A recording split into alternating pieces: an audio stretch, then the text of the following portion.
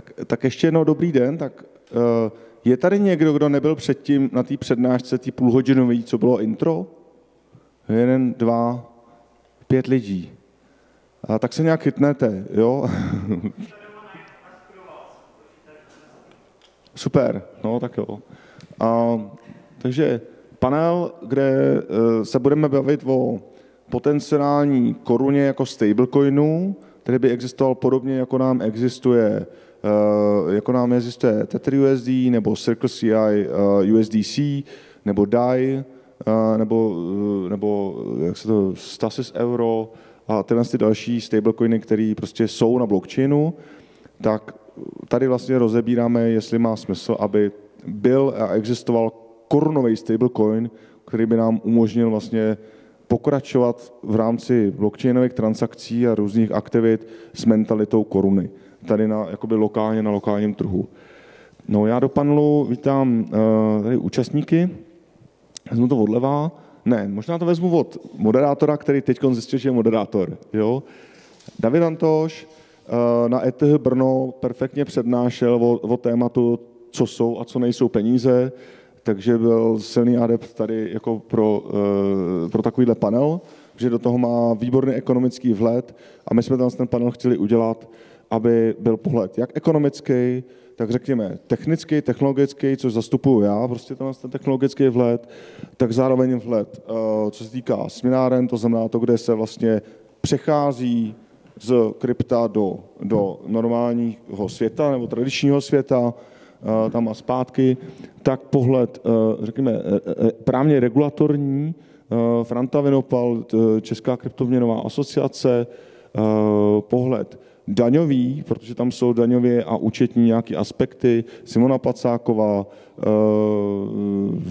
příprava nového účetního zákona, takže prostě tam vnímáme nějakou, že se dá zpravovat nějaké vlivy. Další Jakub Jedlinský pohled, silně ekonomický a, a vztah mezi, mezi uh, jaký je rozdíl mezi korunou, řekněme, jakoby stablecoinem a CBDC. Možná téma CBDC jste slyšeli, takže tohle tu perspektivu chceme taky probrat. Um, pardon, nezmínil jsem Marka, Marek Kirš, Anycoin. Jo? Tak a předávám slovo teda moderátorovi, který se těší na to, že, to, že nás bude moderovat. Já nevím, jak je to s otázkama. Přišli, chodili nějaký nebo budou jenom z pléna? tak mo, možná, když tak přijďte i blíž, jo, ať, ať se prostě slyšíme. Super, tak eh, hezké odpoledne, doufám, že se slyšíme. A já bych možná začal tím, kdybyste mohli všichni účastníci, jak tady jste, a povědět, jestli byste chtěli stablecoin, korunový stablecoin a k čemu byste ho chtěli vlastně používat. A možná k tomu můžete do toho zapojit to, čemu se věnujete dneska, jak by vám to eh, v té vaší současné činnosti roli bylo užitečné. Upřímně řečeno, ano. Jo, a vnímáme to jako problém, že je tam další stupeň volnosti ve, v převodu koruny na dolary, na eura, že pokud používáme nějaký DeFi protokol nebo máme nějakou službu, kde třeba děláme vratku tomu Eh, člověku nebo děláme nějaký dluhopis, tak musí být denominovaný v dolaru, pokud to chceme dělat na kryptu, protože nejsou eurový stablecoiny, na tož eh, korunový.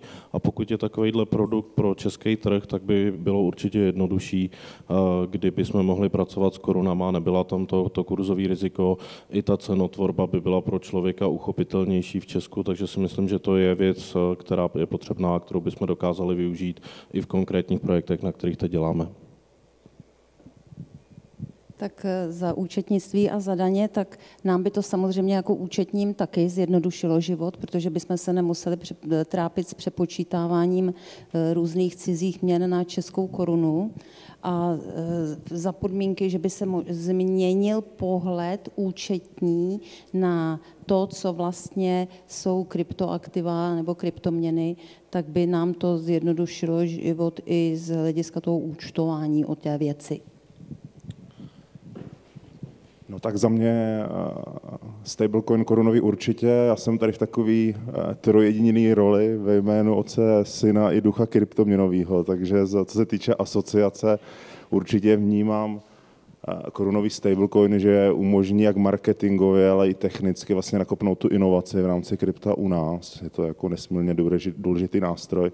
Co se týče směnáře na platebních brán, tak my na něco takového čekáme několik let, takže já doufám, že se to povede. Já to možná můžu zakončit potom, ale eh, zeptal bych se tebe. Tak eh, za mě, když to vezmu ten technologický pohled, eh, tohle je jako úžasná výzva jo, pro ten jako engineering, prostě pro ty programátory. Je to něco, že mm, prostě to, to není jakoby drobná aplikace, je to tak složitý projekt, který pak ve výsledku jakoby ovlivňuje dění tolika aktérů, že uh, prostě ty, ty lidi, co milují lízvy, tak, tak prostě potom s tom jdou, takže jako uh, ta touha vlastně tam, tam je něco takového dodat, co by pak vlastně fungovalo a existovalo na trhu a minimálně by bylo několik let použitý, použitý před, předtím, než by přišlo euro. To je jedna věc. A další věc je, že my, co tady asi sedíme, tak dost z nás, tak nějak máme rádi decentralizované finance. A ty stablecoiny to je vlastně jeden z katalyzátorů toho, Eh, že se jako dalo a dá pracovat s decentralizovanýma financema. Takže to, že ty národní měny postupně začnou mít stablecoiny reprezentovaný na, eh, nebo vlastně odraz svý měny budou mít reprezentovaný ve stablecoinu pro použití v decentralizovaných financí, tak to jenom ještě víc zvýší tu, tu adopci decentralizovaných financí, což prostě nás ohromně, jako, nebo mě osobně ohromně jako láká. Ehm, Děkuji. Já, já to vidím podobně, jak, jak, jak jste už říkali. Za mě je to určitě podpora eh, českých startupů, v, hlavně v DeFi světě. Ehm, my jako Možná si to ani tady tak eh, zevnitř, zevnitř eh, té České republiky neuvědomujeme, ale my jsme světově strašně úspěšnou zemí v kryptoměnách. Máme tady špičky, svět, opravdu špě, světové špičky ve svém, eh, ve svém oboru a světové, eh, světové firmy. A myslím, že máme tady spoustu dalších šikovných lidí a tady stojí dneska, nebo na té konferenci bylo vidět, že jsou plní, eh, plní nápadů a plní zkušeností a český stablecoin určitě pomůže, pomůže rozvoji nejen toho DeFi světa a my jako směna na tomu rádi přispějeme a uděláme všechno pro to, aby jednak jsme tu adopci posunuli dál, a, ale také proto, aby, aby Česká republika byla ještě, nebo naši, naši tady kolegové, kolegové a kamarádi byli ještě více úspěšní. Tak já si dovolím být eh, ten jako skeptik tady, protože eh, všichni v panelu jsou pozitivní, tak já budu negativní. Já si myslím, že to, proto v tuhle chvíli není úplně poptávka, že důvod, proč eh, stablecoiny jiný než dolarový neexistují, je, že dominantní využití stablecoinů je vlastně shortování krypta. Že vy jako chcete si koupit nějaký Tether nebo něco podobného ve chvíli, kdy nechcete držet Tether nebo, nebo Bitcoin, protože věříte, že bude klesat, vlastně spekulujete na pokles. A strašně málo lidí používá um, nějaké stablecoiny na skutečné jakoby, transakce nebo nějaké, nějaký use case eh, unikátní vůči eh, specifický k tomu stablecoinu.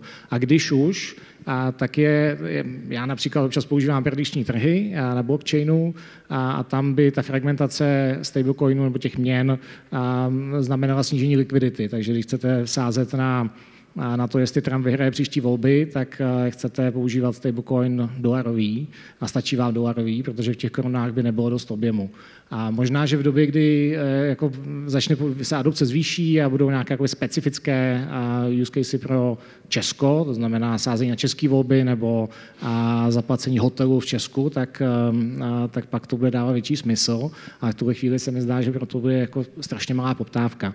Proto bych vás možná ještě eh, jako vyzval ještě jednou kolečko vlastně podobnou otázkou, jaký je ten konkrétní use case, kterým byste, kdybyste měli dneska, bych vám poslal 100 eh, nebo tisíc nebo 100 tisíc z nějakých stablecoinů korunových, kam byste je poslali, co byste s nimi udělali? My na to ty konkrétní use case fakt máme a řešili jsme to už nějakou dobu. I když začal covid, tak jsme potom vymýšleli nějaký systém pro pro vládu, kde si byl jedním z problémů udělat nějaký marketplace na předplacený vouchery na služby, když byl zavřený ekonomika a prostě, aby to bylo srozumitelné pro český lidi, ke kterým se to postupně to krypto dostává. Si dneska je 7-10%, 15% lidí možná už má zkušenosti s kryptem v Česku nebo v Evropě, tak pořád ta korona je pro ně e, smysluplnější. Jo. Takže tohle byl jeden use case, druhý máme, prodáváme stromy. Jo. Koupili jsme tokenizované stromy a teď lidi mají možnost koupit to přes bankovní účet anebo krypto.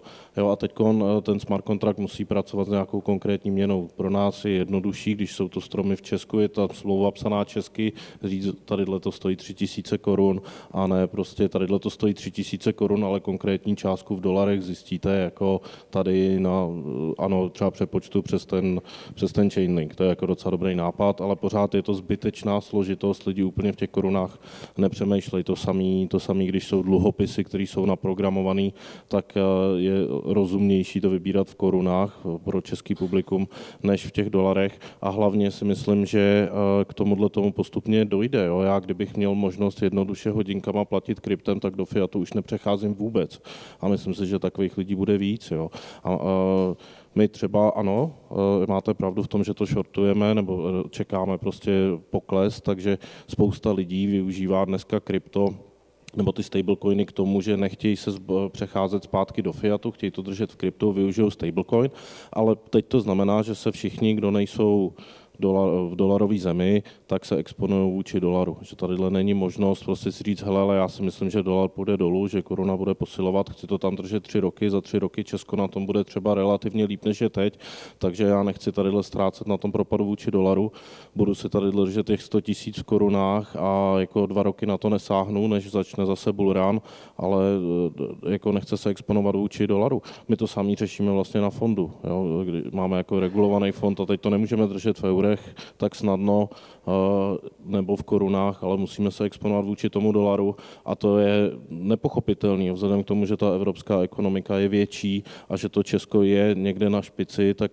si myslím, že tadyhle ten produkt by rozhodně smysl dával a myslím si, že potom i ta poptávka je. Jo.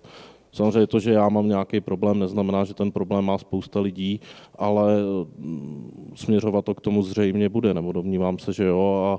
A další věc je, to, to, co mi přijde docela sympatický, že je to složitý takovýhle produkt vytvořit a že je třeba na to spojit eh, x různých lidí, kteří mají různé schopnosti překonat x různých bariér a ve chvíli, kdy se to tady povede a Česko přejde potom taky na eura, tak tady bude vycvičený tým a bude tuto know-how na to, aby se vytvořil ten eurový stablecoin, který tady pořád chybí, takže mě to fakt smysl dává.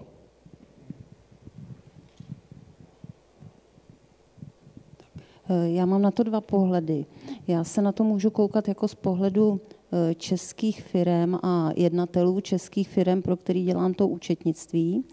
A tam vidím velký problém u firm, který eh, obchodují pouze v českých korunách. To znamená, mají výnosy nebo tržby v českých korunách, nemají žádný zdroj dolarů, všechny své náklady platí v českých korunách, tak pro ně je velmi složité vlastně si eh, svoje české koruny v českém účetnictví převádět na dolary, eh, případně pak teda, když si řeknou, že začnou používat Lightning, takže to ještě budou to převádět pak na nějaký satoshi a eh, mentálně to přepočítávání je pro ně hrozně složitý.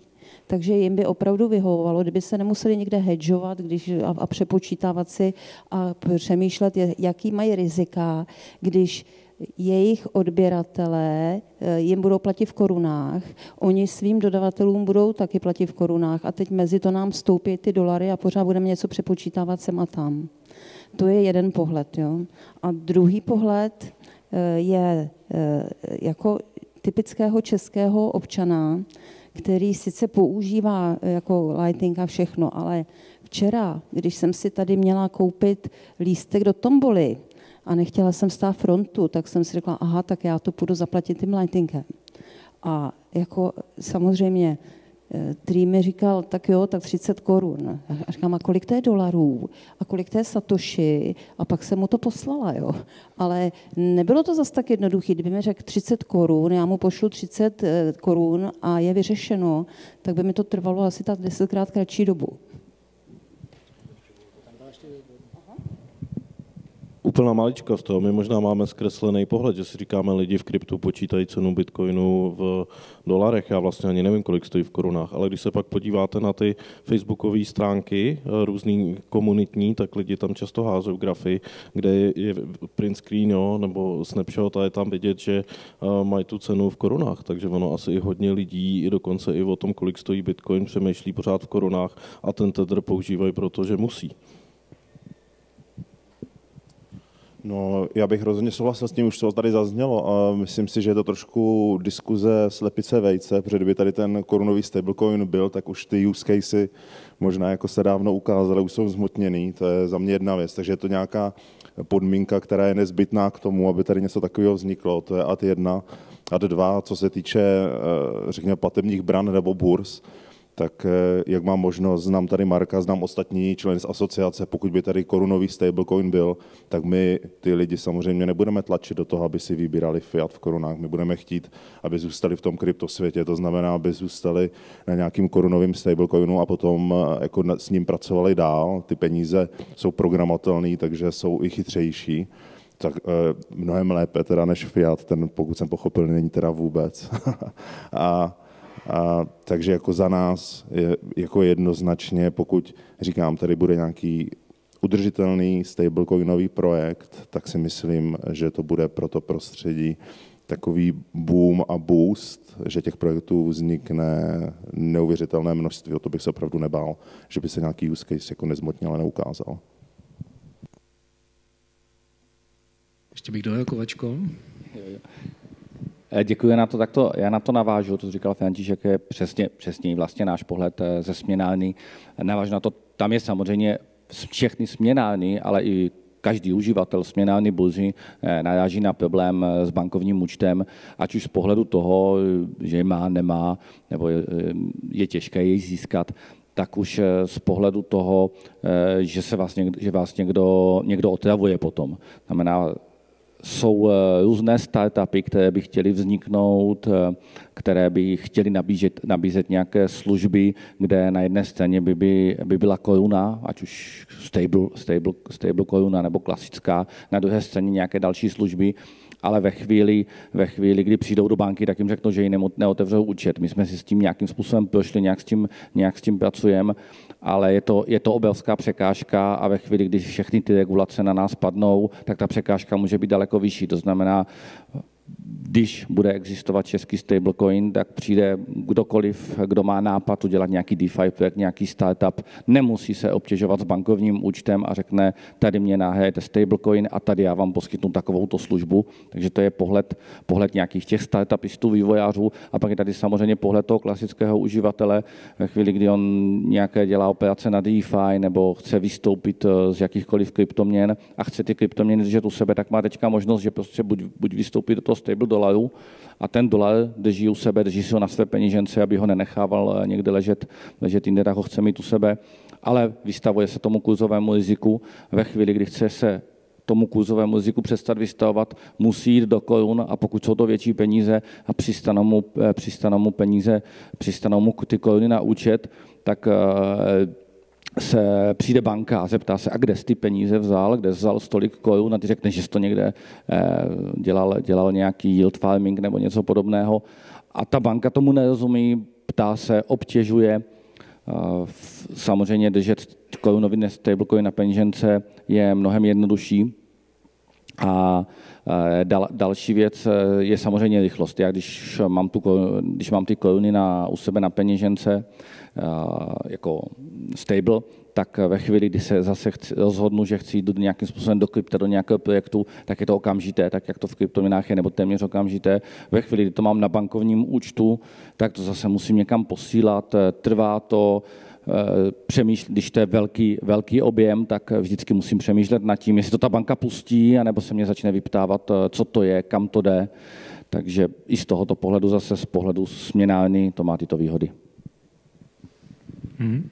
Já věřím, že tady asi všichni shodneme úplně v celé té budově, že a, jako digitální svět potřebuje nějakou svou měnu A hodně lidí, ale věřím, že vě, velká část, ne většina účastníků téhle té celé konference vidí hodnotu v, v blockchainu, v kryptu a právě v tom, že se odpoutá od toho no, jako fiat světa, od světa centrálních bank, států, regulace a podobně, a což v případě um, stablecoinu, který je navázán na korunu, a úplně neplatí. A asi se tak tahle skupina lidí hodně překrývá s Bitcoin maximalisty a možná bych se zeptal tady v místnosti, najde se tu nějaký Bitcoin maximalista? Super, takže, takže tady máme takové jako vstřícné obecenstvo, které je jenom tak napůl maximalistický, ale stejně eh, mi to nedá nezeptat se, myslíte si, že to je správný směr hledat vlastně měnu, jako vrátit, vrátit se k tomu fiat světu, kdy ať už regulatorně nebo vlastně i fakticky jste navázaný na rozhodnutí centrální banky ohledně inflace a všeho ostatního, nebo je lepší cestou hledat tu jako skutečnou digitální měnu, která je nezávislá na státech a nezávislá na centrálních bankách? Má to, má to dvě, dvě roviny. Samozřejmě nejlepší od toho fiat světa se úplně odpoutat, přestat být regulovaný, přestat používat eh, měnu, o které rozhoduje někdo, někdo kolik ji vytiskne a kolik na inflační daní okrade občany. To je, to je ten jeden pohled, který říká, vůbec se s fiat světem eh, neobtěžujme, nezahazujme, prostě nic nemějme společného. Ta druhá věc je, že ty reálné věci, které si potřebujeme kupovat, jsou ve fiatu. To znamená, dokud ta volatilita kryptoměn bude tak obří, a ona, ona teďka veliká je tak obří, jako je dnes, tak eh, ten stablecoin má význam, i stablecoin navázaný na fiat, byť to má ty negativa, které jsem popsal, ve chvíli, kdy volatilita kryptoměn se nějakým způsobem v dlouhodobém horizontu uklidní, stablecoiny přestanou mít svůj význam, já se na to těším. Já bych teda možná k tomu jenom lehce doplnil, navázal na Marka. Já si nemyslím, že nejednou prostě jako se bude tady velké puf Jo, a prostě najednou všichni tady budeme být výplaty v bitcoinech a, a budeme platit za zboží v bitcoinech, tak to určitě nebude. Já ten osobně, jak vnímám vlastně ten stablecoin, ten korunový, teda obzvláště nějaký mezistupeň, jo, nějaká evoluce v rámci toho procesu adopce kryptoměn, kdy vlastně my se maximálně přiblížíme ty masové populaci, a potom, potom jednou možná dospějeme do toho stavu, i ten Bitcoin vlastně bude tím stablecoinem, kdy budeme dostávat ty výplaty, budeme platit za to zboží, už nebudeme přemýšlet kurz Bitcoin koruna, Bitcoin euro, ale už prostě třeba jenom Bitcoin. No, bych taky tak, jako trošku na to navázal. Um, moje osobní nějaká predikce je, že co se týče Bitcoinu, tak tomu no, pro někoho možná bohužel jako nedojde. Ono tam je jako několik aspektů. A když si to vezmete jako geopoliticky, jak se to jako vyvíjí, kde to jako, jaký smysl jako dává. Ty, ty stablecoiny teď eh, dolarový, když si vzpomeneme, jak jakoby vznikly, a jako důvody jako vzniku, jo, speciálně jako eh, Tether USD, že jo, kdy prostě šlo o to nepřecházet do toho fiatu, tehdy to téma ještě bylo, protože krypto bylo takový hodně pod rouškou, takže ty primární hráči to vlastně chtěli hlavně kvůli tomu, aby nemuseli danit tehdy dokonce. Jo, což prostě zpětně se ukazuje, že je nesmysl, protože prostě na blockchainu je to dohledatelný, chain analysis nám všem říká krásný jako výstupy, že jo, eh, kam všude, takže, takže jakoby eh, asi nemůžeme srovnávat to, jak vznikaly stablecoiny, ty dolarový prostě před těma x lety, bylo úplně jiný prostředí, úplně jiný povědomí o, o, o kryptosvětě jako takové, nebo kryptoodvětví, než je dneska. A zároveň si trofám říct, že ta, ta, ta, ta teze a ta úvaha, že Bitcoin bude to univerzální globální platidlo, jo, kde budeme prostě všichni platit satoshis, tak e, dokonce nebude asi naplněná z nějakých jako sociálně ekonomických důvodů, protože prostě tam je zadrátovaná limitace těch 24 milionů. A to bude hodně lidem vadit. Jo? No, hodně lidem tohle to jakoby je pro ně plus, přínos a hodně lidem tohle to přesně bude vadit, protože uh, z dlouhodobého hlediska vlastně startuje tu ten mechanismus kumulace bohatství někam, Uh, zase jako k jiným jedincům, kdež prostě ta kumulace aktuálně a tyhle ty jedinci budou mít takovou extrémní jako ekonomickou sílu, uh, s kterou by pak jakoby ostatní hráči na trhu vlastně jí nemohli mít. A tam jako v té mase to bude vadit a, a to bude ta příčina toho, že, a, a, že se to jako nebude rozšiřovat dál. Jako univerzální platidlo. Něco jiného je to, jak se to rozšiřuje teď, no, ale z pohledu jako směrnitelnosti univerzálního platidla. Tížku, jste chtěl reagovat? Já jenom jsem chtěl vlastně říct, že jsem se tady trošku teda prořekl jako Bitcoin maximalista tady tím svým předchozím, takže jsem tady jediný a, asi, a, ale jako já samozřejmě vnímám, že jsou tady jako jiný názorový proudy a jsem rád, že v rámci těch kryptoměn je, jako určitá míra konkurence a svobody, takže beru, beru ten názor, který vlastně tady zazněl. Já teda si spíš opravdu myslím, že že ten, ten, ten use case, který jsme tady mluvili na začátku, je zatím vnímám hlavně u toho Bitcoinu, ale to je už je trošku jiná debata, možná i do jiného sálu. Jestli, je, to je dobrá diskuze, jako dobrý use case, ale dokud nebudeme v těch bitcoinech platit i daně státu, tak prostě ten, ten fiat a, a te, v podstatě ty e, digitální koruny nějak prostě potřebovat budeme, jo? ty stablecoiny, protože jako a ta situace, kdy se tady dočkáme v Evropě plateb daní v bitcoinech, to asi je opravdu pro všechny i maximalisty, si myslím, asi úplně nedohlednu. Nebo ne? Ne, jak jsem říkal, já vnímám eh, ty stablecoiny, říkám, jako nějaký jako další schůdek eh, do toho kryptoměnového světa, jako nástroj k té větší adopce, abych opravdu ten nechtěl zabíhat do, do polemik Bitcoin maximalista, minimalista, milovník altcoinu a všeho možného. To vůbec, jo, tak já spíš vnímám, že teda budeme platit ty daně, řekněme, v nějakým stablu dřív než Bitcoinem. A, ale vnímám, že někdy na konci té cesty prostě ten, ten Bitcoin, že převáží a tím bych vlastně u toho chtěl asi zůstat. Radku, ještě repliku? A mě ohromně zarezonovalo to, co jsi řekl, eh, přechodový můstek. Jo? Takhle to opravdu vnímám. Nevnímám to jako přechodový můstek k, k z, řekněme, denominovaného fiatu do prostě eh, vnímání Bitcoinu, eh, z těch důvodů, co jsem říkal, ale přechodový můstek vlastně do toho kryptosvěta prostě do těch technologií, do toho, co vlastně inovativně přináší, protože prostě v těch tradičních financích není, to jsme si ukázali tady na x přednáškách, jo, e, e, ty e, tradiční instituce v tradičních financích z různých důvodů, ať už regulatorních, anebo z, z důvodu svých jako schopností, kapabilit a, a, a toho, jaký má jakoby prostor z, z pohledu svého člověkozázemí, bych tak řekl, jako množství lidí k dispozici, co mají dělat, tak nemají šanci dělat takové inovace, které prostě přináší uh, kryptofinance když bych to jako vzal jako celý to. A to ten stablecoin vlastně je tím mostem, který nás může přenést vlastně uh, do těch krypto, případně decentralizovaných financí, kde ty inovace můžeme zažívat, uh, můžeme je prostě, prostě vytvářet dál, zkoumat, experimentovat a mm, vlastně uplatňovat a používat zase zpátky do toho tradičního světa. Jo. Tak já bych si dovolil ještě... Jakube, děkuju. Jestli máš eh, co dodat. Jo. Znáte takovou tu revolutku? To asi znáte. Můžete tam mít různý měny, že jo, dináry, koruny, eura, sterlinky, všechno na jednom účtu a vyberete si, čím z toho chcete platit. Jo? A to se vám strhne jako první a když vám ty koruny dojdou, tak se strhne něco dalšího v pořadí.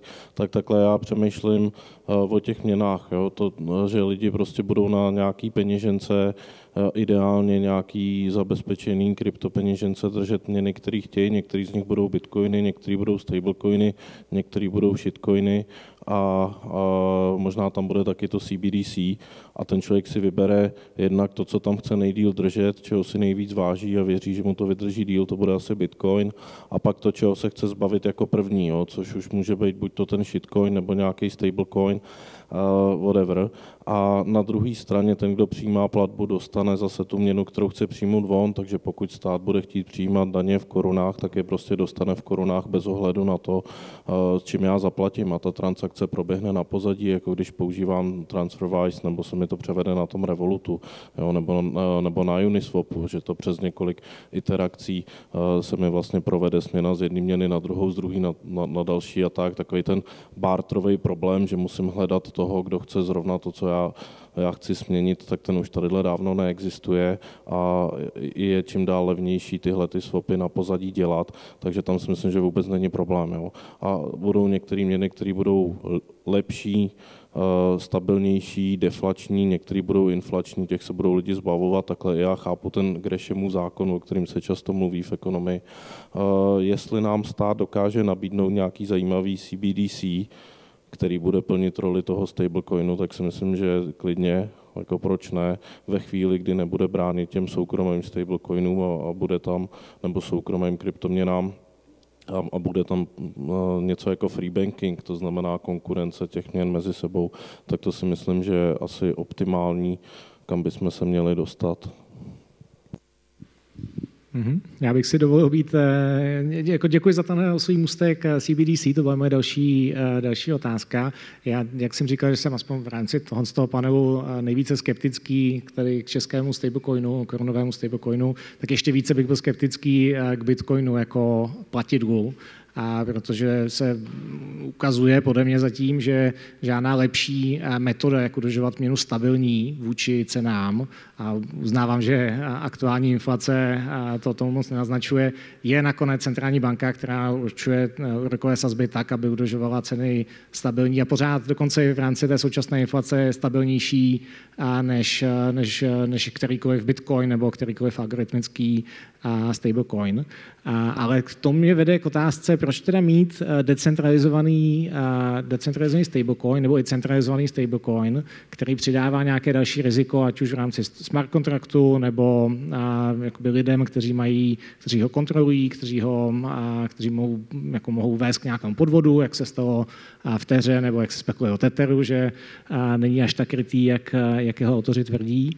Proč nejít rovnou do coinu, který je vlastně není ani coinem, který je prostě českou korunou a vydanou Českou národní bankou, uznávanou na blockchainu. A je to jenom proto, že se k tomu centrální banky zatím neodhodlaly, nebo je nějaký fundamentální důvod, proč by i v takovém světě jaksi soukromé stablecoiny nebo decentralizované stablecoiny pořád měly hodnotu. A Jakube, co si o to myslíte? No, kdyby ta centrální banka prostě jenom vydala nějaký další stablecoin, který by kryla vlastní reputací a, a ručila za něj, podobně jako ručí za vklady v bankách do nějaké míry, tak by to asi bylo užitečný a nebyl by to žádný problém, že by prostě dodali na trh nějaký produkt. Ale to CBDC není o tom, že se tam dodá nějaký produkt. Jo. Tím vlastně ty, ta centrální banka říká, že může lidem otvírat uh, účty, což, což doteď nemůže stablecoin, ať už ho vydává kdokoliv, ať už je to centrální banka nebo někdo jiný, tak si ho může držet na svý vlastní peněžence, nakládat si s ním, jak ho napadne a nikdo ho nekontroluje. Jo. Zatímco CBDC znamená, že mám účet u centrální banky, kam mi může přidávat peníze, můžeme kontrolovat, za co je utrácím, můžeme je zmrazit, můžeme automaticky strhávat daně, to, kolik si myslí, že náhle jako zrovna tomu státu dlužím. Takže to je taková ta cesta do otroctví a ještě pořád by mi to tolik nevadilo. A jo, jako včera jsem to říkal taky. Jo. Ježíš říkal, čí obraz je na tom sesterciu Cezarovi, tak nechte Cezarovi, co je jeho, dejte Bohu, co je jeho, fajn to ať si stát s těma penězma dělá, co chce, dokud mi nebude sahat na ty moje, jo, nebo na ty, který vytvořili si lidi sami pro sebe, tak jo, pokud česká koruna je nějaký produkt státní, tak budu respektovat ty státní pravidla, ale jako Bitcoin ten stát nevytvořil a ani nějaký jiný stablecoin. Takže největší problém je v tom, že státy, které zavádí CBDC, jsou nepřátelský vůči uh, ostatním kryptoměnám. Jo, naopak třeba americký, nebo Tether, jako vlastně americký dolarový stablecoin je používaný v některých zemích, které mají špatnou státní měnu, jako Turecko se uvádí jako takový typický příklad jako nesmyslný monetární politiky, tak tam lidi začínají využívat stablecoiny. Jsem se ptal svých studentů z Turecka, jestli to fakt dělají a prej to fakt dělají, takže to asi není úplně mýtus kdyby ten stát nebyl v opozici vůči soukromým projektům nebo komunitním projektům, tak ať si s těma penězma asi dělá, co chce, ale jako zlo vidím v tom, že jakmile nějaký stát zavede CBDC, ať je to Čína, Nigérie, Ekvádor, tak začne zakazovat kryptoměny a to je jako z vůle. Radko, co myslíš ty? Ty se snažíš tady vytvořit eh, konkurenci České národní bance. Myslíš, že tě může Česká národní banka porazit na trhu stablecoinů, a nebo se to neobáváš? Hezký název konkurence. Já bych to nenazýval konkurencí. Um, myslím, že na ETH Brno tak jsme, tak jsme trošku jakoby tohle to diskutovali a uh, když bychom vzali jako korunový stablecoin jako takový a vzali uh, monetární zásobu, kterou znali M2, uh, znamená vydaný peníze prostě v oběhu od České národní banky, tak uh, bych neřekl, že to je jako konkurence. Je to prostě já bych řekl, že to je obraz, že jako když přecházíte skrz uh, zrcadlo, jak máte Alenku v říši divů skrz zrcadlo, tak máte svět prostě standardní, ten běžný, to znamená ty tradiční finance, tradiční svět, pak přejdete prostě skrz směnárny platební brány do toho kryptosvěta a to je vlastně za tím zrcadlem. Jo? Takže to, co vlastně by vznikla koruna na, uh, na, jakoby, uh, na blockchainu, tak vlastně odrazem jako částečný tým monetární zásoby, která vlastně cirkuluje prostě v tradičních financích. Jo? protože představa, že bychom tady dokázali prostě natisknout e, řádově jakoby více, e, více e, DCZK, jo, jakoby těch, těch stablecoinových korun, a uplatňovat a zároveň jim říkat, tohle je jednak jedný pegovaný prostě ke koruně, tak to je, to je prostě jako technicky to je nereálný. Jo? Takže vždycky se dá počítat s tím, že to bude nějaká jakoby subset, který prostě operuje v nějakém světě, který je jiný než ten tradiční svět. Jo? A tím pádem je to odrazem, je to jakoby obrazem v zrcadle. Tak jsem to řekl trošku tak jako, jsem ti hlavu. A možná by mě zajímalo, jestli jste v kontaktu s Českou národní bankou, jestli tam vidíte jakýkoliv um, jako backlash nebo naopak podporu a jestli čekáte nějakou změnu s novým guvernérem.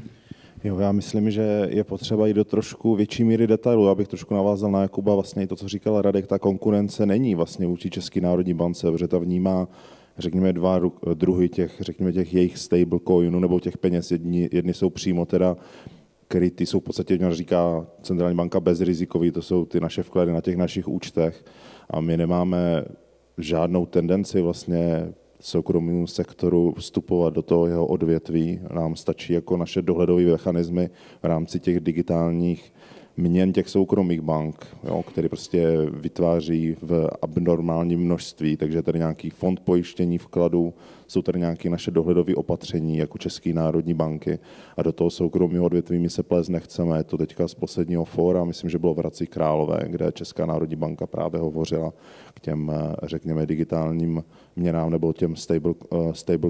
Takže ta otázka spíš zní, jestli naši konkurenti, to znamená ty komerční banky, jaký my s ním máme vztahy, no zatím v rámci České republiky ne moc dobrý, to už vidíme na těch směnárnách a burzách, jestli by měl existovat konkurence vůči těm digitálním měnám soukromých bank, myslím si, že ano, protože myslím si, že ten stablecoin, náš digitální, decentralizovaný, eh, může nabídnout hodně více. Co na to Česká národní banka? Česká národní banka říká, dělejte si v rámci svého soukromého písečku, co chcete, my to budeme pozorovat. V případě, že by se to vymklo kontrole, tak to budeme chtít pochopitelně regulovat. Mm-hmm. Jako jedna a, asi důležitý element platidla, který by skutečně mít široké a, využití a široké, širokou adopci mezi populací, bez čeho jako platidlo to nedává smysl, je nakonec důvěra v toho emitenta nebo v toho, kdo spravuje a takový systém. A my jsme slyšeli, že zatím jste think tank, a asi plánujete být nějakou organizací. A co je potřeba, aby um, aby v nějaký DCZK tady e, jako lidé měli důvěru. A co je největší riziko, když se podíváme na jiné podobné stablecoiny ve světě? Jedním slovem, a možná pak kolegové to doplní, likvidita. Nějaký další pohled? Tak já, já, jestli, já jestli to doplním, ten problém, uh, problém s důvěrou je, je podobný jako problém s důvěrou v, jak, v jakýkoliv jiný stablecoin. To znamená, pokud bude centralizovaný USDT, musí být uh, instituce, která takový, takový stablecoin vydává. Samozřejmě tam je to potom důvěra, důvěra v, tu, v tu instituci.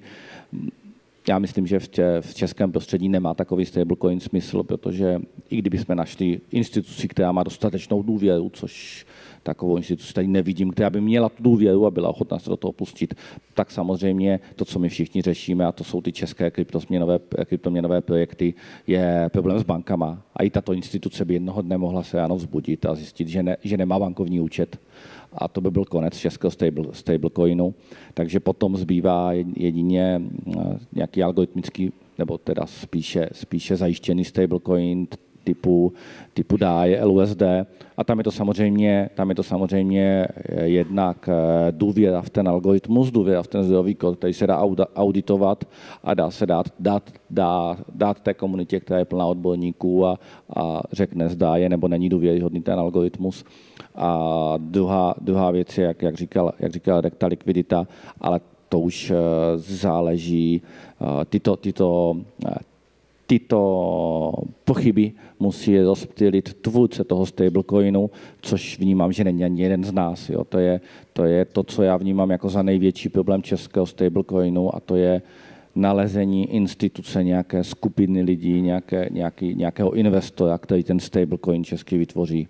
Jo. My, my ho budeme všichni používat, vidíme ten důvod používání, ale e, zatím nevidím a toho by se mohl tady někdo, tady to fórum, kde jsou ti, ti odborníci, ty a, top, top inženýři nebo, nebo top investoři z České republiky, kde by se toho mohl někdo chytnout a říct, ano, já tady vidím poptávku, já vidím, že směnárny to zalistují, že to budou používat, je potřebné, aby někdo přišel a řekl, já to vyrobím.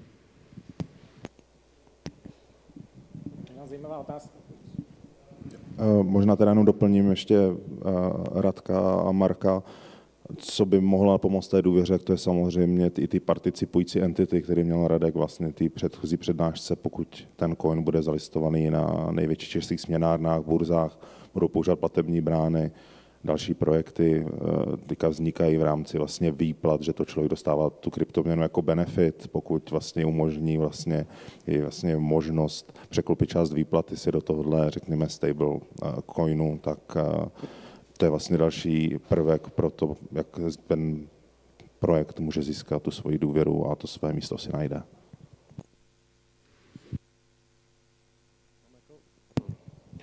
To by bylo fakt fajn, kdyby to podpořila ta Česká centrální banka, Česká národní banka, tam jsou rozumní lidi, kteří asi jsou kryptu otevřený, jako pan Dědek, nebo s panem novým guvernérem Michlem jsem na takovémhle panelu mluvil v paralelní polis na Hackers Kongresu už v roce 2016, ale bylo by to v rozporu přesně s tou politikou nepomáhat a nechránit, kterou si myslím, která si myslím, že je správná a že je dobrá.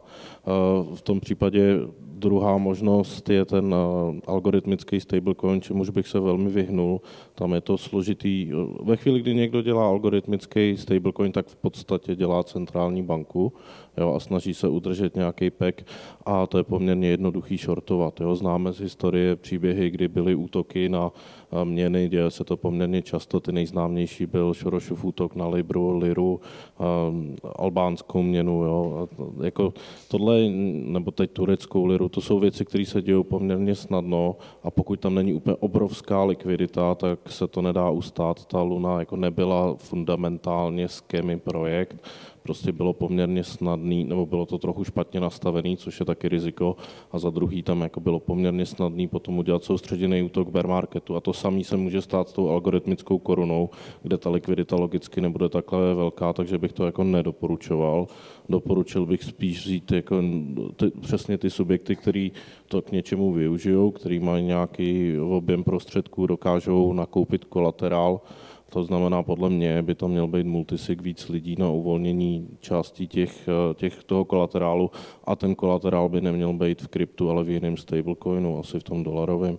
Takže prostě nakoupit USDC, USDT, různý typy stablecoinů, aby tam nebyla expozice vůči jednomu kdyby byl eurový stablecoin, jakože není, kromě toho ruského wavesu, toho, toho neurína, tak, tak eurovej je ještě logičtější, ale řešil bych to asi tímhle způsobem. Není to stoprocentní, není to dokonalý, ale už jenom mluvit o těch algoritmických stablecoinech mi připadá v dnešní době jako reputačně neúplně prozíravý.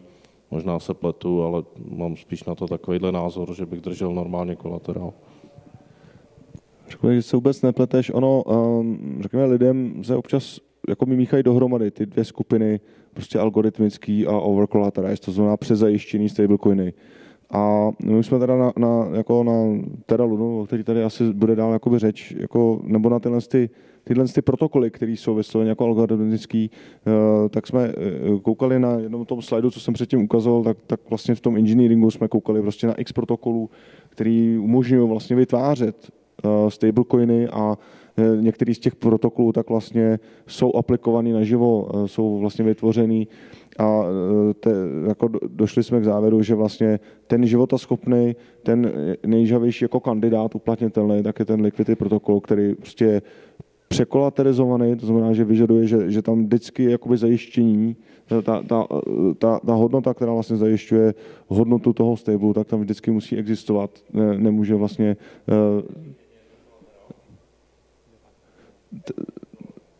ne, teď, teď je to Ethereum.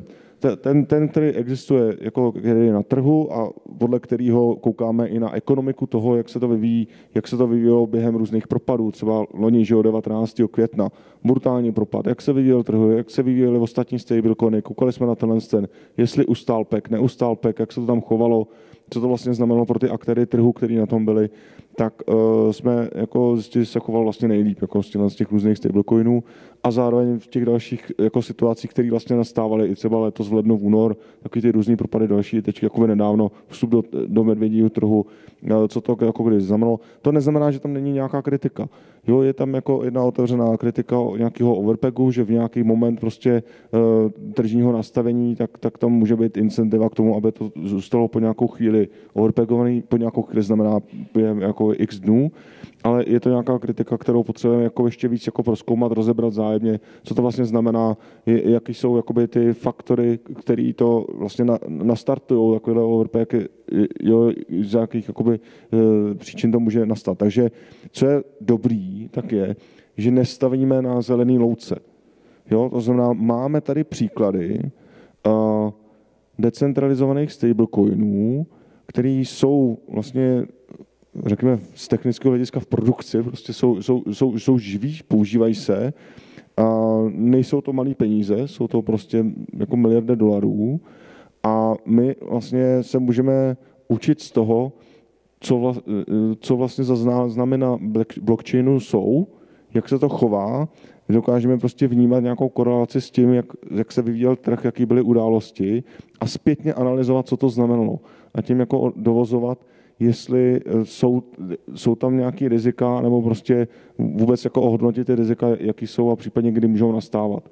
A to jinými slovy, když jsem byl doptávaný jakoby z pohledu toho technického streamu, tak od lidí zvenčí takový, tak mějme nějaký demo, jo, něco, nějakou ukázku, kde by to běželo, Říkali, jasně, může se tady jakoby nasadit prostě nějaký ten, ten protokol, ten kód je otevřený, ten prostě vezmeme, pře, přelejblujeme to na korunu a prostě se to nasadí jako na, na testnet jako demo, je to hezky, ale je to k ničemu, protože tam neprobíhají ty, pak ty transakce, ta, ta ekonomická aktivita tam neprobíhá a to je to, co prostě je důležité jakoby sledovat a, a jakoby vidět.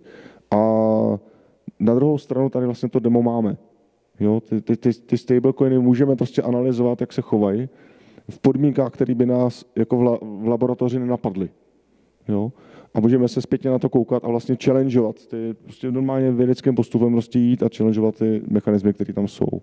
Takže demo tady je, aktuálně ten nejžavější kandidát je ten liquidity protokol, kde prostě můžeme zkoumat to chování. A není to ten algoritmický, jako prostě Luna teda bla, bla, bla ale, ale prostě je to ten overcollateralizovaný, to znamená něco, co nám tam zajišťuje tu hodnotu v pozadí, i na rozdíl třeba od toho, jak byl dříve challengeovaný Tether, že jo, se říkalo, ale on vlastně není stoprocentně zajištěný, on je prostě z nějakých buchví kolika procent. Tak předám slovo. My jsme už tak přirozeně přešli do diskuze ne jestli je potřeba stablecoin, ale jak má teda vypadat, protože ten design je, je spousta možností, jak nadizajnovat stablecoin, ale více nebo méně úspěšně. A já bych se možná zeptal tady obecenstva, a než začne obecenstvo se ptát, ptát nás, a který stablecoin jste už někdy použili? A můžeme vyjmenovat možná ten největší, Tether, skoro každý, nebo převážná většina, a USDC,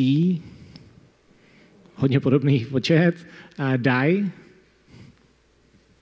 a to už je, to už je relativně málo. A kdo jste někdy použili nějaký algoritmický stablecoin? a to už jsou jenom pár nešťastníků možná, pokud to byla, pokud to byla Terra. A už jsme diskutovali ty centralizované, to znamená, a to je model, kdy nějaká instituce má někde v sejfu, někde v bance, má ekvivalentní množství peněz, nejlépe trochu více, a těch coinů, které vydá a vlastně dává závazek k tomu, že pokud já už ty coiny nebudu chtít, tak oni mi za to dají do ruky skutečné koruny nebo nějaký skutečný majetek. A to, ty si Radko říkal, že v českém, v českém prostředí jako není realizovatelný, že by taková instituce mohla vzniknout. Myslí si někdo něco jiného? Mohl by český stablecoin být centralizovaný? Dávalo by to smysl? Eh, vzniknout by bez zesporu mohl, ale jak tady Radek vlastně avizoval v té přednášce, znamenalo by to projít si licenčním řízení u České národní banky, stát se institucí elektronických peněz. A je tam opět potřeba bankovního účtu, takže si myslím, že bychom se dál nepohli, protože přijít eh, za centrální bankou s projektem nebo s obchodním modelem, eh, chci tady vlastně mít, řekněme, český stablecoin, ona možná řekne fajn, ale musíte si teda proto se na ten bankovní účet, pak se tou žádostí budeme zabývat. A jaký je vztah eh, našich komerčních bank eh, ke kryptoaktivům a kryptoměnám obecně víme, takže to bych nerad opakoval.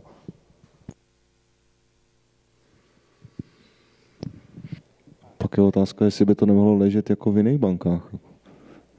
Někde mimo ČR. To by samozřejmě mohlo. A nevím, jak by se na to například tvářila banka Frick, která je teda jako kryptoměnám otevřená, to netuším.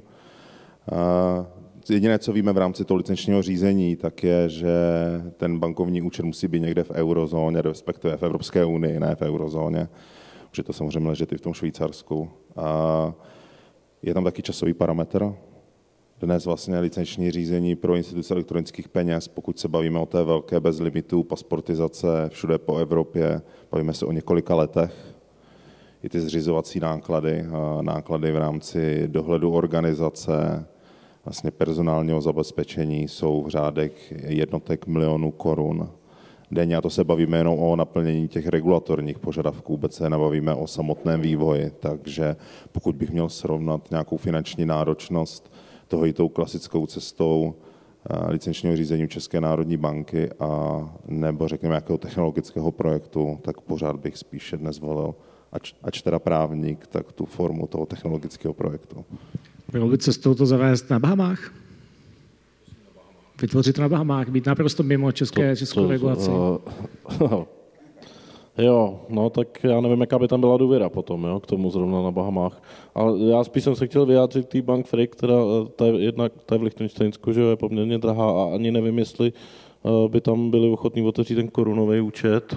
Jo, těžko říct, my s tím máme zkušenost, my tuhle banku teda používáme na fondu, ale to je poměrně jako fakt složitý, drahý, dlouho to trvá a ještě navíc jako to není v Česku, takže si myslím, že by byl problém v tom licenčním řízení a na těch Bahamách jsem vůbec nevím, jak by k tomu teda přistoupili český regulátoři, ale já třeba jako český uživatel bych asi takovou centralizovanou věc zrovna na Bahamách držet nechtěl, jo? nebo nikde v žádném daňovém ráji nebo mimo Evropskou unii, to nevím. To už by mi přišlo rozumnější, kdyby to tadyhle držela Česká komerční banka. Jo?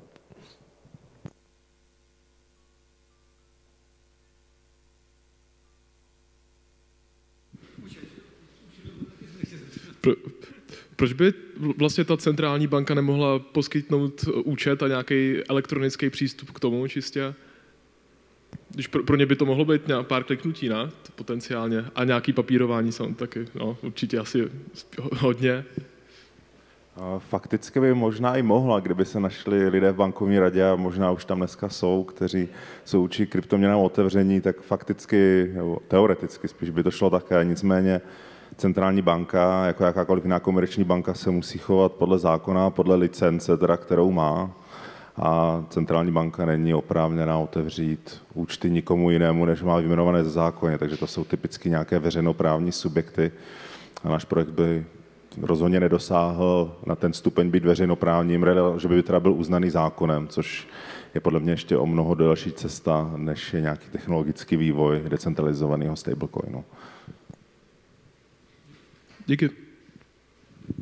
Mimochodem, jestli někdo má další otázky na tu předchozí část, tak rád bych to otevřel.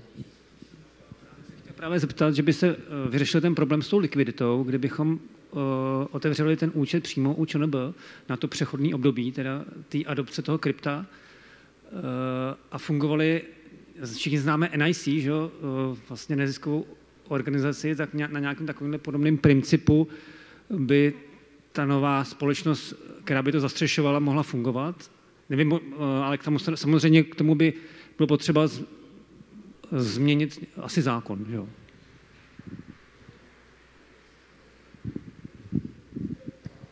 Ano, bylo by potřeba změnit zákon a jak říkám, samotná změna zákona by trvala díl než vývoj nějakého, řekněme, decentralizovaného řešení.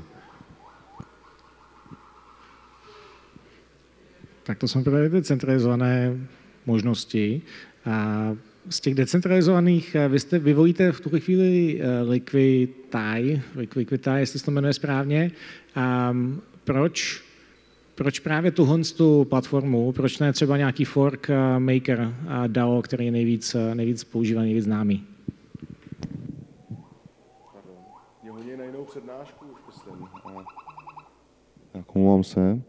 Um, Ono to, eh, Liquidity je v podstatě fork MakerDAO, je to jakoby další evoluční krok po MakerDAO, eh, kdy přináší vyšší kapitálovou efektivnost, to za prvý, a za druhý vlastně přináší mechanismy, které se ukázaly jako, 19, jako loni v tom květnu, kdy MakerDAO vlastně učinilo ztrátu na sobě. Tam bylo nějakých 12 milionů dolarů Eh, který prostě v rámci toho dá pak musí dát jako dohromady, protože vlastně mm, ty mechanismy jako likvidací, které tam fungují, tak, tak nejsou tak plně zautomatizovaný a, a tím prudkým propadem tak se tam nestihlo jakoby dostatečně včas reagovat a tím tam vznikla prostě nějaká disproporce. A, a ten liquidity protokol je vlastně evoluce dál, kdy z MakerDAO 150% collateral ratio se dostáváme na 110% collateral ratio, je tam vyšší efektivita, protože prostě je to tam zautomatizované a dá se vlastně je, konat velice rychle pro udržování eh, PEGu a dělání likvidací. Jo. Takže v podstatě odpověď je ano, fork MakerDAO už je a to je on. Františku, ty jsi zmiňoval, že ty to nevidíš jako konkurenci České národní banky, ale konkurenci bankám. A nicméně banky právě mají tady nějaké ty pojištění pro případky úpadku, pro situaci v úpadku, mají dozor České národní banky, musí jako relativně detailně poskytovat účetnictví a svých, svých, svých aktiv. A tohle všechno by tady jako nebude. A je nějakém multisigu a jako nebude žádný státní dozor nad tím, co se tam reálně děje. A znamená to, že decentralizovaný nebo nestátní stablecoin je vždycky inherentně víc rizikový a vždycky bude víc rizikový a uživatelé to musí akceptovat. A nebo a máme věřit tomu, že se obejdeme bez té státní regulace, bez státního dozoru? Já jestli můžu na to, na to reagovat klasická banka musí mít ty regulace, musí mít všechno, protože to, jak banka nakládá s těma penězma, dělají lidi, dělají, dělá ta instituce a je to nepredikovatelné. To znamená, nikdy nemůžeme věřit tomu, co se tam do budoucna stane, co, o čem tam rozhodnou, buď, eh, buď to chybou, nebo, nebo tím, že budou nějak, nějak motivováni udělat něco špatně. Znamená, musí nad ním být ten dohled a a musí tam být nějaké pojištění, něco, nějaké pojištění těch rizik, které můžou zastat. Ten eh, stablecoin, nebavme se o algoritmizovaném, protože to je takový nefunguje. Bavíme se o tom zajištěném stablecoinu, tom, tomu, že stablecoin je zajištěn nějakou jinou kryptoměnou, tak tam je právě ta důvěryhodnost dána, dána tím algoritmem. Ve chvíli, kdy ten algoritmus je plně důvěryhodný, nemůže se tam stát nikdy nic jiného, než co ten algoritmus do, do, do, do, dovolí. Je to deterministické a není potřeba tam dělat nějaký, nějaký dohled. Takže můžeme uvěřit stejně, jako věříme České spořitelně? Nebo dokonce Ví, více? Více. Jednoznačně více, jak jsem říkal, je to dáno tím algoritmem. To neznamená, že v tom algoritmu ne, nemůže, být, ne, nemůže být chyba, To samozřejmě, to samozřejmě může, to znamená like eh, tomu algoritmu věřit nemůže, pokud, ho ne, pokud tomu nerozumí. Ale někdo, kdo si ten algoritmus projde, rozumí mu a ví, co se tam může stát, jak, eh, tam je vždycky dáno, jaké kroky se udají, udají, když znamená někdo, kdo rozumí tomu algoritmu, tomu může věřit více než státní instituci. Trošku zareagoval. Um, já nevím, jakou máte důvěru ve svý mobilní telefony, jo, který prostě máte v kapse. A spousta, spousta softwaru, který je v tom mobilním telefonu, tak je otevřený software který prostě vznikal úplně podobným způsobem. A takže to, co vlastně eh, vy věříte výsledku tomu otevřenému kódu, který tam je, a tu schopnost většina z nás bych řekl, že jakoby nemá. Prostě jít se kouknout na zdrojáky třeba Androidu, nebo pokud byste náhodou čistě získali od Apple, tak na, na zdrojové kody toho. A teď to tam jako proskoumat a řekl, hele, šmíruje mě to, nešmíruje, jak to vlastně je. A naopak vlastně spíš jakoby věříme jiným lidem, kteří tu schopnost mají a který můžeme si říct, ano, tyhle ty jsou nezávislí, protože prostě se můžou na to absolutně nezávisle kouknout, můžou to zauditovat de facto, reviewovat, můžou to připomínkovat a, a nejsou žádným způsobem ve vztahu k tomu, kdo vlastně ten kód napsal.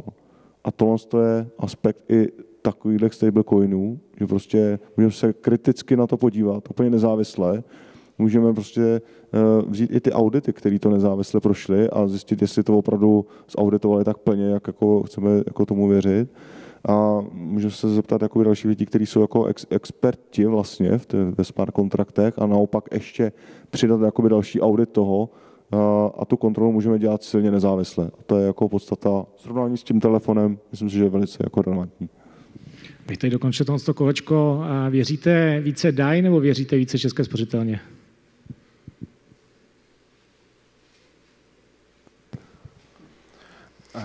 Důvěřuji lidem, o jejich expertize mám minimální pochyby, a že říkají, že dá je života schopný a udržitelný projekt. Tak tě věřím, že sám nejsem natolik jako technicky vybaven, ani mentálně, abych byl z toho pochopit ten open source code. Takže mám důvěru nějaké lidi, experty, kteří mi teda říkají, ano, toto je jako řešení, které je fair. Jestli věřím české spořitelně, otázka, no, e, jestli věřím v, v instituce jako Českou národní banku v dohled, mm, ano, často se říká, vlastně to předznamenal, v případě nějakého úpadku říká se, že úpadek je vlastně důsledkem selhání dohledu, což bylo historicky, řekněme, v období kampeliček a úvěrních družstev, respektive špatně nastavené regulaci. Takže pokud bych měl opravdu jako být krátký v té odpovědi, tak spíše jako věřím tomu technickému IT, matematicky prokazatelnému světu, než světu regulace a institucí.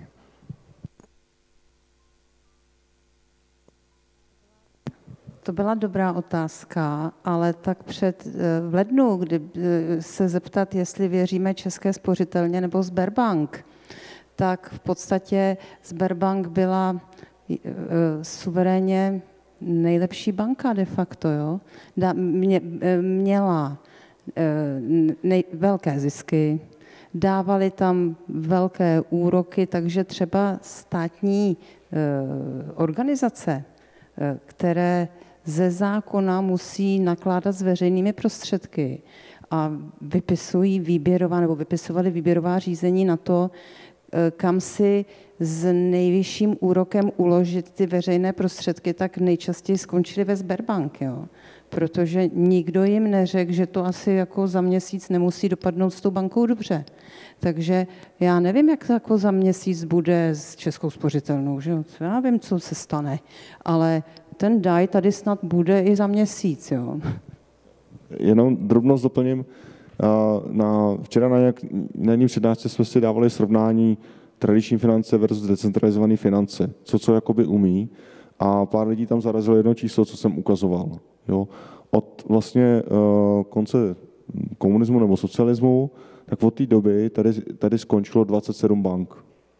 Jestli se kouknete na seznam eh, ÚČNB, je to opravdu 27 institucí, že Sberbank tam ještě nemají vylistovanou, že to je 26 plus 1, jsou to všechny ty kampeličky 98. a tak dále roky.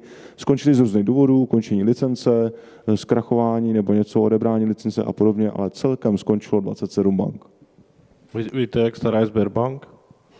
To byla založena někdy v polovině 19. století, jestli se nepletu, jo. takže to je banka, co přežila cary, Stalina, přežila devadesátky, přežila všechno a e, jako touhle optikou se dá dívat na tu instituci, jak je dlouhá. Jo? Jako když padali Lehman Brothers, tak to taky jako lidi nečekali houfně a to se může stát se vším. Podobně ta Luna teď, to bylo spíš jakoby solidní projekt. My jsme to shortovali, ale prostě e, nebylo to vyloženě jako viditelný totál, jako viditelný skem. Jo? A e, to samý DAI, to funguje od roku 2016, jestli se nepletu, jo, taky tam samozřejmě byly nějaké problémy, takže si myslím, že Jediný asi e, dostatečně paranoidní řešení, nebo který bych zkousnul, je e, rozložit toto riziko. Jo. Já ten DAI klidně používám a když převádím třeba z různých vrstev Etherea nebo mezi různýma chainama, tak ten DAI se běžně používá v bridgech a já ho používám a je užitečný a klidně v tom budu něco držet a klidně budu něco držet v Tetru anebo na spořce, ale jako asi ne všechno. Jo. Takže prostě důležitý je rozložit to riziko mezi různý projekty s různýma typama toho zajištění a ne jako vsadit na něco, že tohle to bude navždycky, protože jestli by tu něco mělo být navždycky, tak je to Sberbank. A možná jak se zeptal obecenstva a přesvědčili vás, kdo věří více tomu stablecoinu, co používáte se svými úsporami a se svými penězi, než České spořitelně. Zvedněte ruku. Jedna, dva, tři. Kdo věří víc spořitelně? Jedna, dva, tři. A těch, těch, těch prvních bylo trošku víc. Těch bylo trošku víc. Já bych to s tou důvěrou trochu, trochu doplnil. Já české spořitelně věřím hodně, ale ne, že bych věřil jako bance a české spořitelně, ale věřím tomu, že tak, jak nechali padnout, nebo jak se zavřela z B-bank, tak to prostě um, zaplatili lidi, kteří měli ve SB bank peníze české spořitelně. Možná věřím proto, že kdyby padla česká spořitelna, tak to zaplatíme my všichni, ať tam peníze máme nebo nemáme. Říká se tomu too big to fail. Um, ano, tady mm, jako top, top tři banky, tak prostě nad nimi bude ochrana. Můžeme se klidně pojmenovat Česká spořitelná ČSOB, Komerční banka. Tam prostě my jako daňoví poplatníci tak určitě zaplatíme prostě nějakou záchranu takovýhle bank, pokud by se něco takového dělo. Jo. Párkrát jsme se už dotkli těch algoritmických coinů a tak tady tak jako cítím z nálady, že většina není fanoušky. Je tady někdo, ať už, ať už v panelu nebo v obecenstvu, kdo by uměl a chtěl hájit ten opačný názor, že algoritmický coin může fungovat a že je užitečný. Nikdo, vůbec nikdo.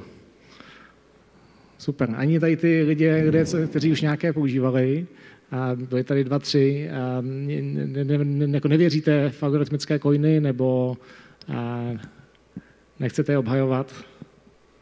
Dobře, dobře. A možná někdo v obecenstvu by naopak mohl říct, eh, jakoby vy jste shortovali Teru, a proč jste shortovali Teru a proč ne nějaké jiné algoritmické coiny, nebo shortujete všechny?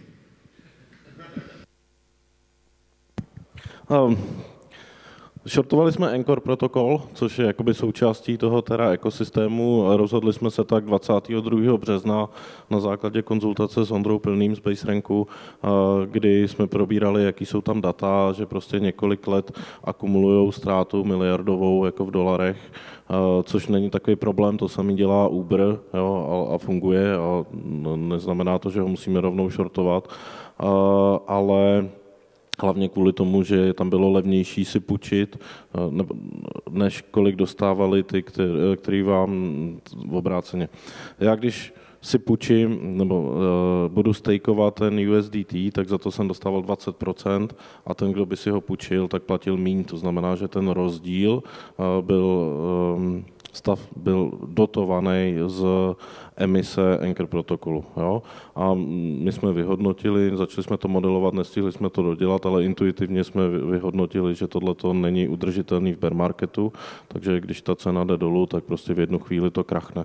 Další eh, nápověda byla, když začali vyloženě dělat centrální banku a nakupovat do rezerv bitcoiny, ethery a tak dále, když už se jako připravovali na to, že hele, asi budeme potřebovat nějaký polštář, takže to je jako sice docela dobrý nápad, ale ve chvíli, kdy je to vidět, eh, že to někdo dělá, no tak si to trošku jako o ten short říká, jo? nebo o nějaký útok na to, zvlášť když se dá spočítat, kolik těch rezerv mají takže tam to bylo jako poměrně dobře viditelné. Navíc se hlasovalo, eh, v tom jejich DAO se, se hlasovalo, jestli se nemají snížit ty uh, úroky nebo to APY, kolik člověk dostane za stejkování UST a snížili se na 18,5%, takže kosmeticky, ale zase tím bylo vidět, že už je to e, na pořadu dne a že tam je nějaký problém, takže jsme shortovali Anchor protokol, ve chvíli, kdy to začali shortovat všichni, tak jsme to vytáhli. Jo. Udělali jsme tam 80% zisk, dál už jsme se v tom e, ne, neangažovali, Další nápad bylo, OK, tak teď zkusíme teda ten maker, jo. A, tak jsem si říkal, OK, bude to mít jako špatný fundament, celý tenhle ten sektor.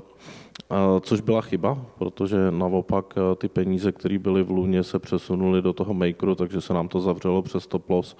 A, takže tam jakoby ta důvěra naopak v ten maker die bylo, byla prokázaná ale jako zkusit jsme to museli, jo. protože tam už člověk neví. Zkouší, jestli ten sentiment bude natolik špatný, že prostě všichni to, se toho šmahem zkusí zbavit, anebo jestli naopak ten trh vidí rozdíl mezi těma uh, protokolama a ty peníze se tam naopak přesunou, což, uh, což byl ten případ. Teď jsi zmínil výbornou věc, rozdíl mezi prostě jednotlivými typama stablecoinů. Když si vezmeme regulatoriku, vnímá tam ty rozdíly?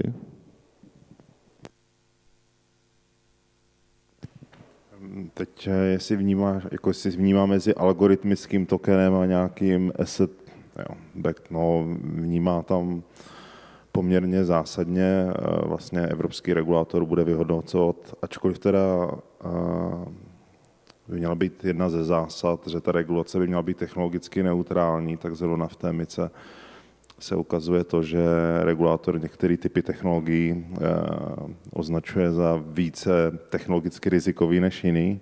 Takže v případě těch algoritmických tokenů lze vyčíst, jak jako z průvodní zprávy ze samotných ustanovení, že ty podmínky pro vlastně, řekněme, tu emisi, respektive toho prospektu, toho white paperu, eh, budou jako neskonale do větší míry detailu a samozřejmě budou podlíhat více přísnému regulatornímu, řeknu jako spektrometru.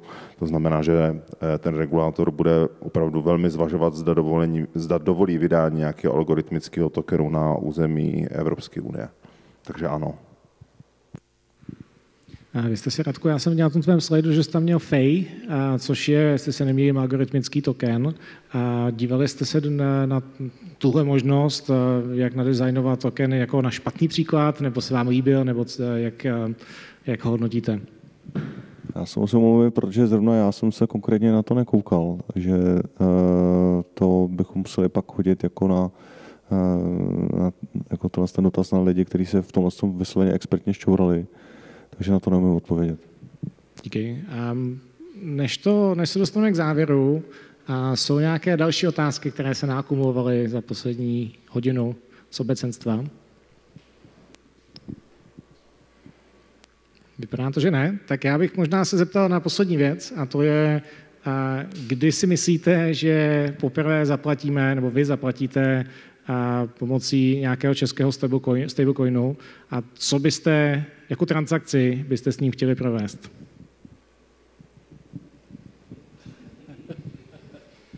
Kdy to vůbec, eh, kdy to si nedokážu odhadovat, samozřejmě z pohledu směnány ho buď to koupím nebo prodám za koruny. Já odhaduju, že, ehm, že, že to použijeme dřív, než použijeme eurový stablecoin, Jo. A e, když bych to měl použít já, tak jakou, jakou transakci, um, řekl bych, to, co jsem viděl třeba na takhle konferencích, jako UTXO tady, anebo Chaincamp, a teď jsem tam viděl ty nabídky, že prostě kupte si obraz nebo něco a teď tam bylo napsaný 3500 korun nebo 0,00 BTC, 0, něco ETH, tak to byl pro mě nějaký impuls a věřím, že naplní to z toho impulzu, že prostě to uvidím a řeknu, OK, 3500, tak tady je těch 3500 DZK, hotovo. Já teda řeknu nějaký to datum. Tak rok 2026 dostanu první výplatu. Já si neodhadnu vůbec, netroufnu si odhadnout, kdy to bude, ale já bych si za to určitě koupila nejdřív pizzu. A já bych si koupil ten strom, abych to otestoval, že to funguje. Tokenizovaný strom. Super, tak díky moc. A díky našim panelistům, díky obecenstvu a já si dohledat tady ty tokenizované stromy, protože to mě, to mě zaujalo. Díky.